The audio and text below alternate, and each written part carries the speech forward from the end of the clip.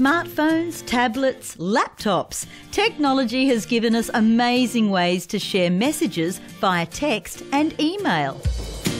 Well, now there's a new craze in communication devices. It's slim, compact, and totally digital. And by that I mean these digits. Yes, it's the humble pen. Far from being tossed on history's scrap heap, pens are writing their way back into popularity. Just ask Barbara Nichols, owner of the Pen Shoppe in Brisbane Arcade. In this temple to ink and nibs, she's the high priestess of penmanship. Do you find that there are people who really resist the digital age? Yes, lots of them. Lots of people come here to de stress, you know, pen therapy. They just love their pen still. I think we see a very big trend from young people. They might be buying a $50 pen from, but it'll be a special pen. So this is one that's worth $20,000. That's a calligraph. It shows you where the night sky was um, at the time of your birth. You, My goodness you me. can dial in your birth date on that one. Barbara, I have trouble uh, finding my pen sometimes. I wouldn't want to lose a $20,000 pen. No, no, well, these are all going to collectors who love their pens, uh, you know, as much as their life. So, What range of pens do you have here? I mean, I'm sure they're not all $20,000. well, we, we, we pride ourselves on having something for everyone, you know, from $5 maybe to a million dollars. You know, we have, we can, we did have a pen for $1.7 million.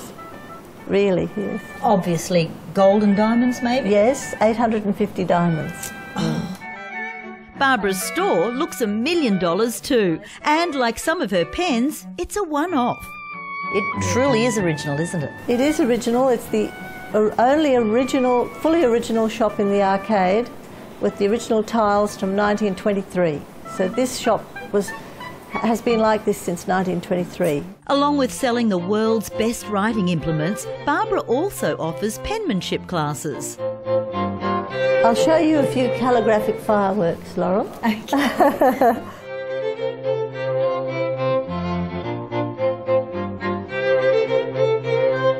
Oh, that is beautiful. Barbara. Will it take me long to be able to write like that? Well, I've got I've got the system here in my penmanship book, oh. polishing your penmanship. It's not as hard as it looks actually, but let me see you write first. Okay. And then I can know where to start.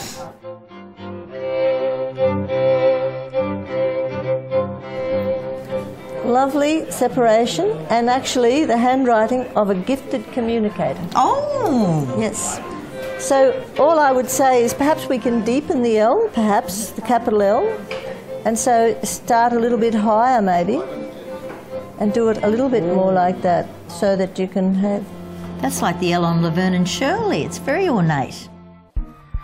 Of course, it's not only pens enjoying a renaissance, colouring books draw a big adult market.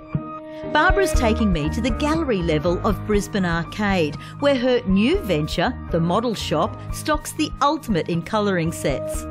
These are the, the the pinnacle of colouring in pencils. These come from Geneva, and they've been developed with the most richest pigments of any colouring pencils in the world.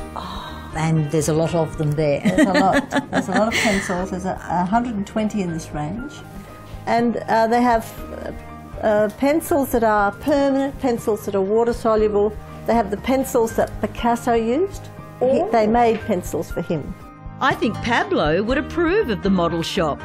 It's a bowerbird nest of European collectibles, antique inkwells, chess sets, and finely detailed models.